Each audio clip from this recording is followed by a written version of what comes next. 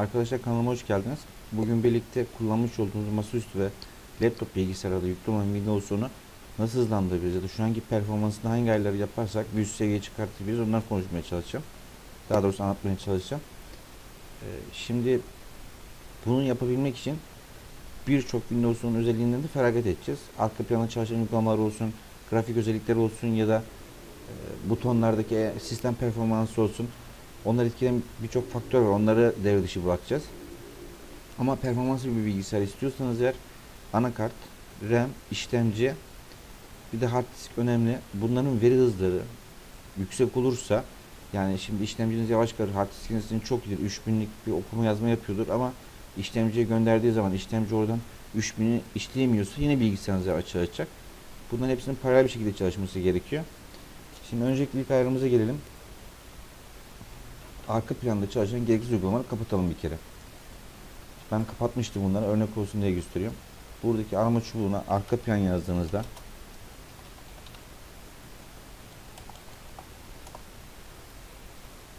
arka planda hangi uygulamanın çalışabileceğini seçin sekmesi var orada. Onu tıklayacağız. Şimdi ben bunların çoğunu kapattım.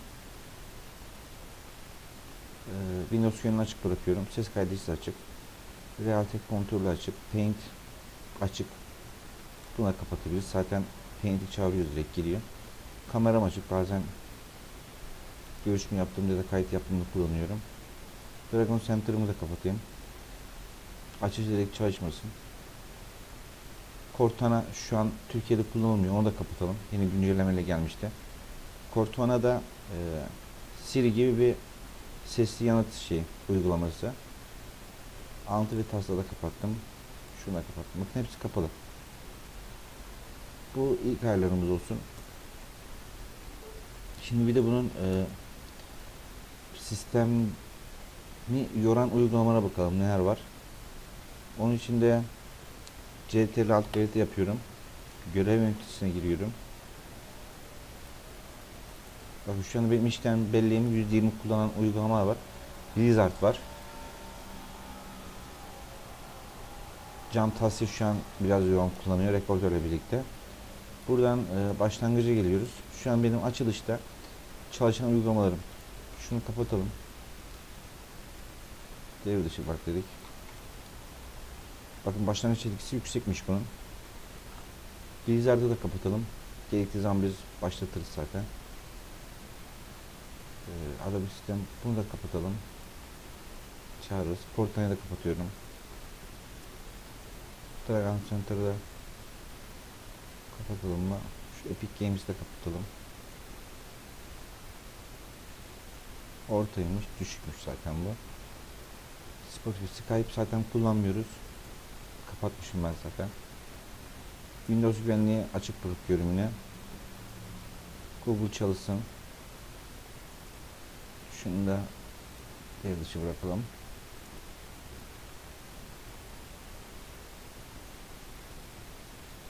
Şu an birçoğunu devre dışı bıraktık.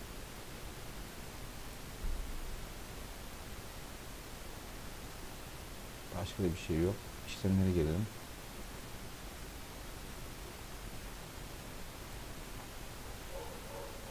Şu an bunlar çok uçuk kullanıyorlar zaten. Performansımız da bu şekilde. Tekrar geri geldim. Buraya göre yöneticisi yazıp girebilirsiniz.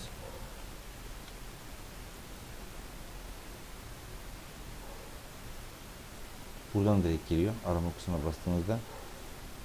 Şimdi şuradan bilgisayarımıza gireceğiz. C'nin üzerine özellikler diyeceğiz. Burada diski temizle diyelim. 320 MB'lık var. Bu size daha çok olabilir. Bunları isterseniz silebilirsiniz.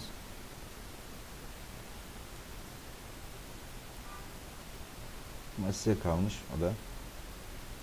Bir de bilgisayarın daha performanslı çalışması için e, performans ayarları var. Bilgisayar hangi performansla çalışsın? Laptoplarda bu zaten var güç yönetiminde. Kişileştir diyelim. Neredeydi?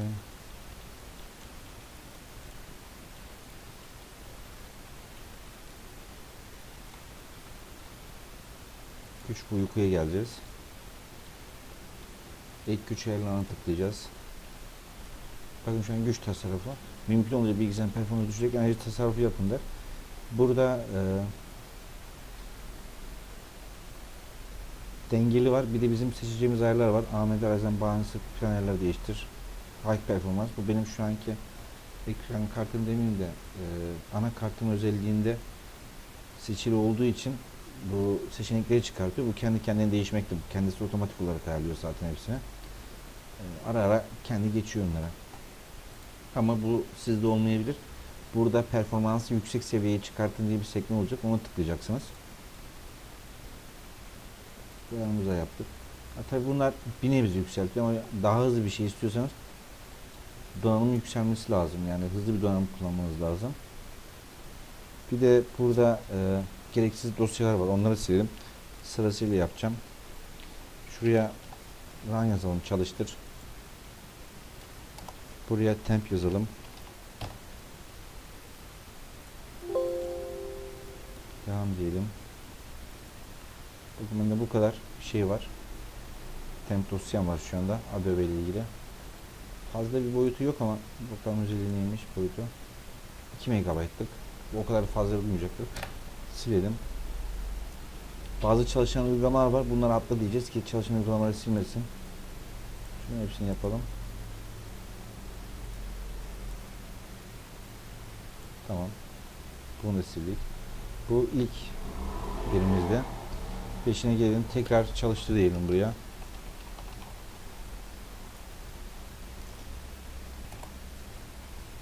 Buraya yüzde işareti yapacağız.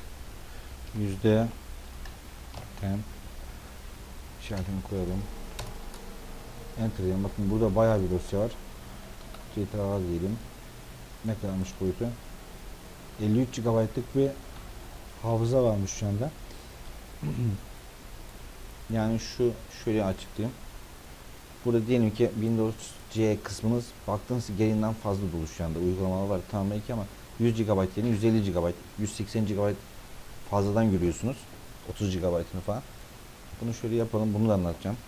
Depolama ayarları diyelim. Buradan depolama ayarlarına geldiğinizde C'yi neyin kullandığını görebiliyorsunuz. Burada bazen diğer uygulamalar fazla oluyor. Geçici dosyalar 53 GB ama burada 53 GB'ı göremiyorsunuz. Bakın burada şimdi geçici dosyalarda bu veriyi göremeyeceğiz. Burada 3 GB'lık bir uygulama yok ya da verinin nereden geldiği belli değil. Ama siz yüzde temp yüzde çalıştır dediğinizde bunu görebiliyorsunuz. Silelim bunu.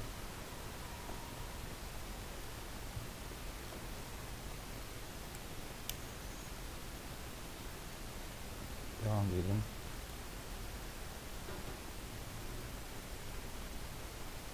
Evet diyelim.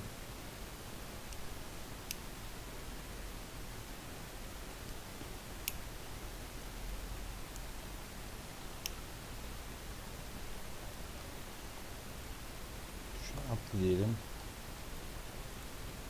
Atlayalım. Bu dosyayı da atlayalım. Çarşın uygulamaları silmesinler. Tamam. Bu da gitti. Şu an bakalım nasıl. Şu an geri dönüşüm kutusunda ve geri dönüşüm kutusunu olabildiğince boş bırakın. Çünkü geri dönüşüm kutusunda kalan dosyalar sürekli geri yükler açık olduğu için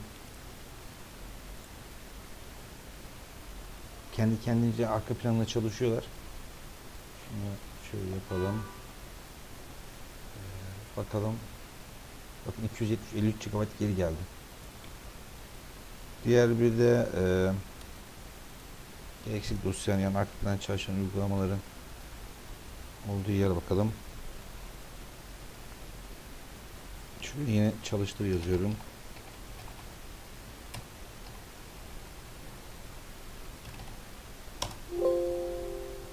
Devam diyelim. Bu şekilde bir karşımıza geldi. Burada da bayağı var. Boyutuna bakalım. 6 MB bir şey değilmiş.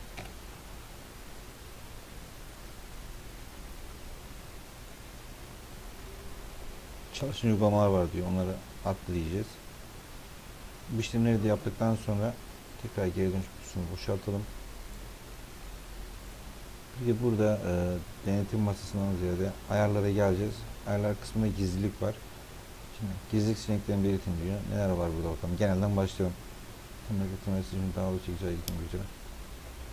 Bunları isterseniz kapatabilirsiniz. Ka- Her kapattığınız uygulama performansına bir artı sağlayacak. Konuşmayı kapatalım. Gerek yok.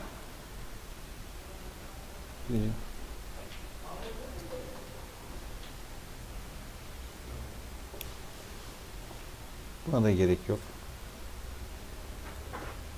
Bu tamamen sizin kişisel şeyinize kalmış, inisiyatifinize kalmış. Ee, isterseniz bunları kapatıp ya da açabilirsiniz. Sesle, şurada bildirimler var.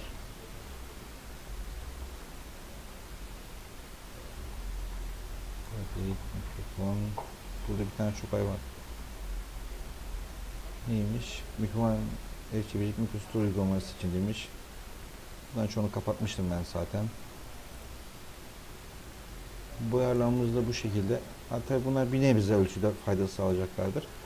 Ee, ekran kartının performans ayarlarını yapabilirsiniz. O sizin inisiyatifinize kalmış. Nasıl yapmak istiyorsanız o şekilde yapabilirsiniz. Farklı farklı ekran kartları olduğu için bununla ilgili bir e, bilgi aktarmayacağım.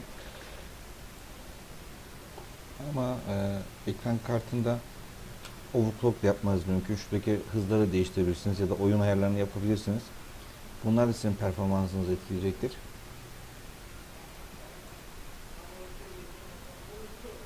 Burada önemli olan e, depolamaya eğer baktığınız ki Windows 10'da depolama fazla kullanıyor. Buradan geçici dosyadan deminki yapmış olduğum komutlardan ulaşıp onları silebilirsiniz. Şu an bakın 220 idi 50 GB'ın geri geldi. Fazladan atı bir şekilde duruyordu o 50 GB. Arkadaşlar videomuz bu kadar. Ee, bu tarz videoların devamı için kanala abone olarak ve like atarak desteklerseniz bu tarz videoların devamı gelecektir. Yorumlarınızı bekliyorum. Bu konuya ilgili olarak elimden geldiğince cevaplamaya çalışacağım yorumları. Video izleyen herkese teşekkür ederim.